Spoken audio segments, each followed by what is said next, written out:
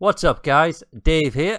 We're back once again with the next video in our Xbox Ambassadors series. This time I'm going to show you how to refresh your dashboard. Now this is a nice and easy quick one.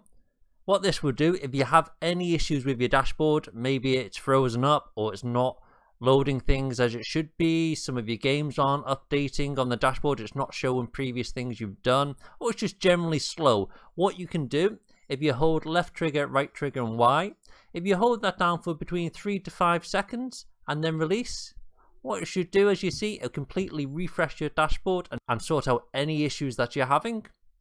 Hope you've enjoyed the video guys, hit that like button if you have. Once again, there are no rewards or anything that I get for doing these videos. These are purely for you guys to help you out. If you've liked what you see, make sure you hit the subscribe button. Take it easy guys, and I'll see you next time.